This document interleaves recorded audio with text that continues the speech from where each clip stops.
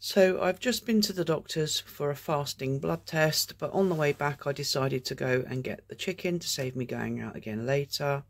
So we've got some chicken in there. There's some chicken to be cooked.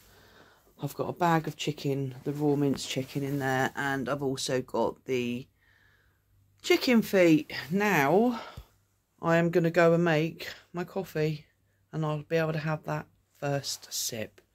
I'm dying for this coffee. Anyways. Oh, that's even better today. I've had to wait an hour and a half. No. Yeah, about an hour and a half since I got up. Been and had my blood test done. Had my B12 injection, so I'm good for the next three months. Went to Tesco and picked up the chicken. Went over to Furry Feasts and got the raw minced chicken and the chicken feet and the weather is half decent. The sun is coming out, but we are getting some really, really strong gusts of wind. Anyway, no sign of the squirrel yet. Doesn't look like anything's been disturbed in that plate. So, we'll see what happens.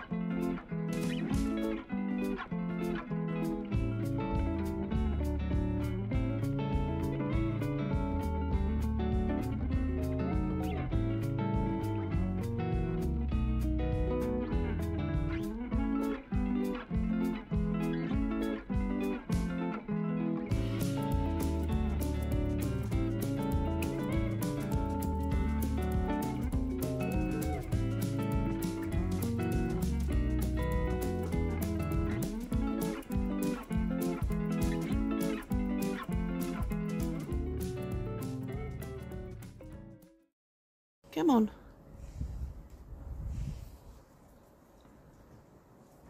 Hello?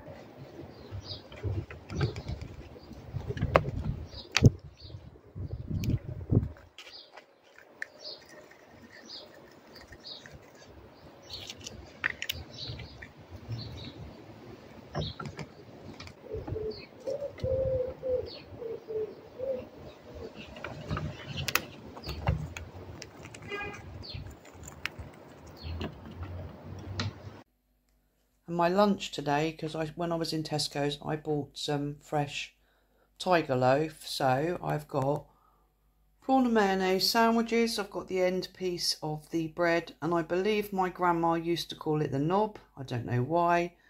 I've got myself a pickled gherkin, and then I've got some of my bread and butter pudding that I made yesterday because it's nice cold as well as hot.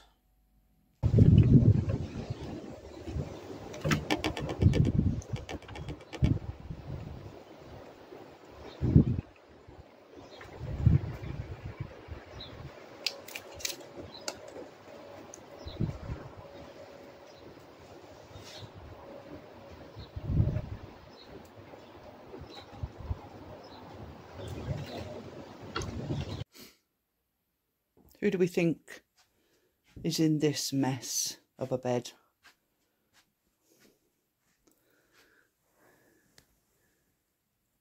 Oh, yeah. What a surprise. It's Naughty Norman. And there's Kenny, all snug, in Carol's fleecy blanket. He pulls that himself. Makes me want to gag when I see it in his mouth, but at least he's comfortable. So my dinner today is belly pork slices because there was a pack of six. I had three yesterday. I'm having the other three tonight with jacket potato and that has been smothered with butter and has cheese on the top. So I'm really looking forward to that. And the way I do my jacket potatoes when the skins are not that good is peel them and then put them in the oven for an hour or so to cook and they crisp up on the outside and form a skin of their own which is really really nice. So you've got no worries about eating any nasties or anything like that. Anyway I'm off to eat my dinner. So my dessert today is going to be one of these. As much as I do not like cheesecakes I do like these. And they are very expensive for what they are but I actually got these a bit cheaper hence me buying them um, I usually have the one that has the honeycomb balls on the top because I like that one. But I'm going to give this one a go because I do like chocolate and I do like salted caramel. So wish me luck.